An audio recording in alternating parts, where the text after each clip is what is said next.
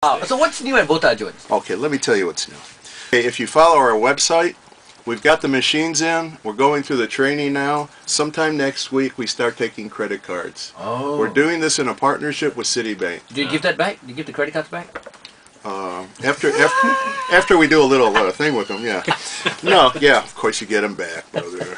But you know, as as prices go up, Yeah. sometimes people don't carry enough. Maybe they want Yeah. the wagyu, but they only have enough for uh, a mini me botak. Okay. Okay, but they want the wagyu. We don't want we don't want them to go without. Okay. We'll take the we'll take the credit cards now, right? Okay. There you go. Okay, I am a big basketball nut, as well as D. Okay. Yes, yes. I yes, grew, he, he grew up in New York.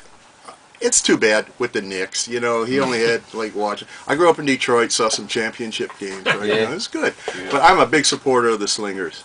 So Yep. what we're doing with the Slingers this year, go to a Slingers game. You'll have so much fun. Twelve, uh, eight of us went from Botak Jones this last week, Yep. and now they want to go. Whether they have to pay for the tickets or they get the tickets, they're going back. They had such a good time. Yeah. If you go to the game, here's what we'll do at Botak Jones. You turn your ticket stub in after the game. The Slingers are sure to win. Yeah, they're four for four. They're four. They're four and zero right now. That's now. right. They've beaten every team in the league except they haven't played KL yet. We'll beat them. We'll and them. they'll well, they're sure to. Yeah. You got to be positive, right? But like last week, they won by twenty something Yeah. points. Yeah. Oh man. We will give a one percent discount for every point the Slingers win by That's every crazy. home game. Oh. So last last last game, we still owe some people who haven't turned in their their their seat stubs yet twenty 20%. percent discount.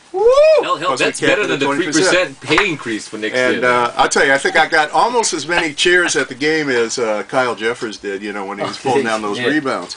All right. One other thing I was mentioning is that you know we guarantee everything, and we always have. You know, there's a lot of places that's starting up now, and and a lot of them are good. You know, they serve Yeah, good food. There's a lot of chefs around or whatever, and they're bringing up things with guarantees and upping the service and the and the quality quotient. But we've been doing this since we started, and uh, we're not going to stop. I just want uh, to to reaffirm that you know our promise to to Singaporeans is damn Yeah. good food at a damn good price, right. and it's not going to change.